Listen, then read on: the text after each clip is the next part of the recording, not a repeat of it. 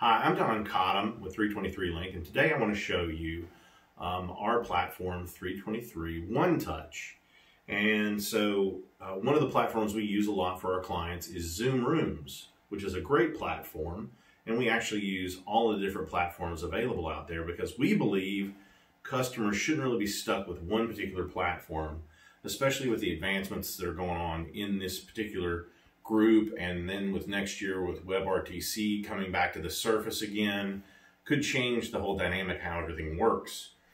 So Zoom Rooms, so right here, this is actually the primary interface. If you're a Zoom Room user though, you're probably going to be in your Zoom interface all of the time or most of the time. I'm gonna go ahead and connect my panel to this. Normally this would just be running in the background. So you'll notice um, this is a little icon that we've created.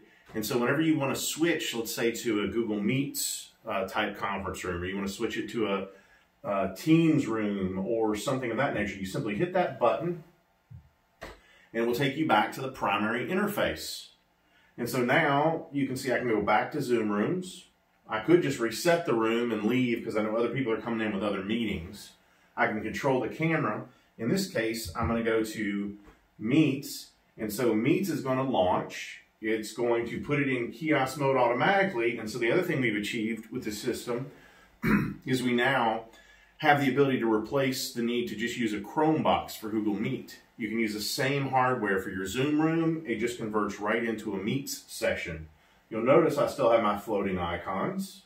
And so let's say uh, this particular hardware actually has an ezTalks room which is very similar to the Teams room and the Zoom room.